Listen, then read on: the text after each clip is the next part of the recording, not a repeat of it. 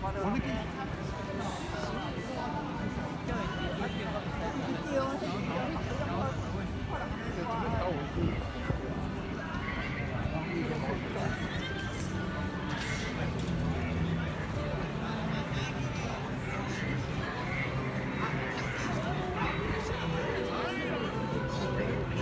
is very lively street in uh, Niagara Falls in uh, Chinatown, very street.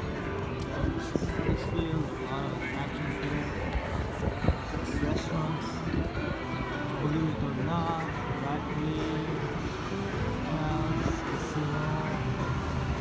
it's very lively, so today is a big day. It's uh, Tuesday night, October 15, 2019, and, uh, and it's 8.30 p.m. A lot of people. Uh, temperature is kind of chilly.